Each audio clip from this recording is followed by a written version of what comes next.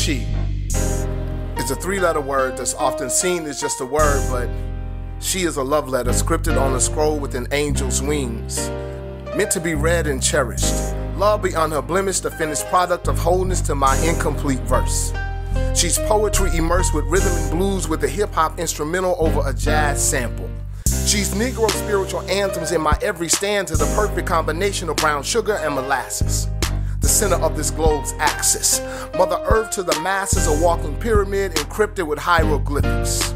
She's the birthstone of Kemet, made in his image, so it's obvious that God is black. Because who else could have placed that type of boom bap in a melanin skin that when she walks, bongos beatbox to her every step because her blackness carries its own tune. The winter monsoons rain upon her head as her crown gives the sun its spit shine glow. Milk and honey flow through her frame.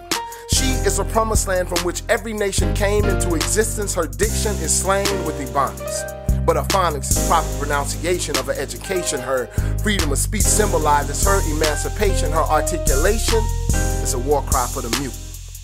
Twisted dialect, locked in nappy roots. Her tongue shoots spears that rip through hearts like hollow point tips from thick lips that spit this southern fried lingo so sweet as its sugarcane juices move within her veins and those years of pain in her expression had long been folded beneath white sheets.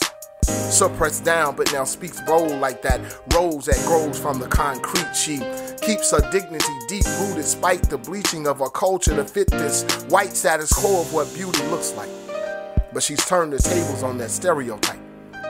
Now others mix to be her type. They retype write their own standards of what beauty looks like. Enhancements for enhancements. Advancements that once on hands meant you were too much to fit inside their Cosmos magazines.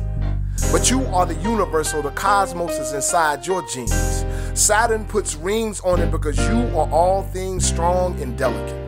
118 elements. Your presence in itself is a gift. See, you are a goddess and not a myth. Blessed with a stroll that flows more better than water. Skin much softer than the cotton you once picked that pricked your skin black and blue, battered and bruised from the nightsticks or miracle whips until it was raw or they saw your white meat in the whites of their own eyes. All while fantasizing their white between your thighs to white out your blackness. Whitewashing you to become blackish hoping to cross you out like the one you bear that they burned with matches, but their tactics were no match with this passion that you held inside. The godliness that strengthened your spine, letting your soul glow as your black girl magic shine. Truly undefined, getting better with time, even a wind out hourglass couldn't be made more fine than she. Because she is more than just three letters put together. She is mine for worse or for better. Beauty personified to the letter, my better half, never the lesser, and you can search this entire earth and you will never find another like she. Because she is black woman, and I love her.